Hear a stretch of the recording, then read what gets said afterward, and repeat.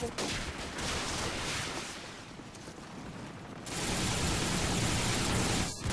should have been more. Come on, that messed you up. You're looking so sweet in the air.